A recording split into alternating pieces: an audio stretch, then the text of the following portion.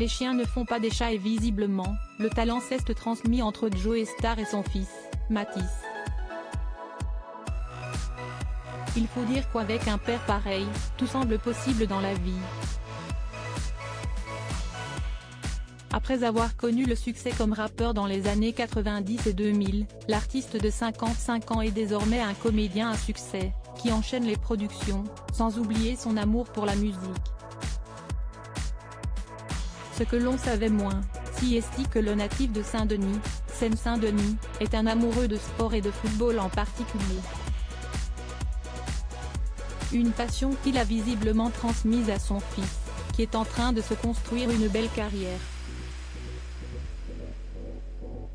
Loin de la capitale où vit son père, le jeune Matisse est en train de faire ses classes dans l'un des clubs historiques du football français, l'Age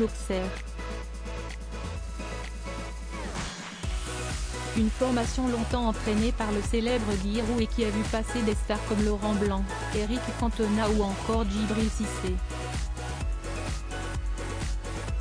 Le fils de Joe Star, qu'il a eu avec son ex, Leila Si, joue encore avec les espoirs du club et le 19 février dernier, il s'est offert une performance de choix. En Coupe Gambardella, une compétition prestigieuse pour les jeunes joueurs en devenir, celui qui évolue au poste de gardien de but, celui qui a été énorme comme l'indique son club, a permis à son équipe de se qualifier. Auteur de deux arrêts lors de la séance de tir au but, le fils de l'artiste a été essentiel pour son équipe.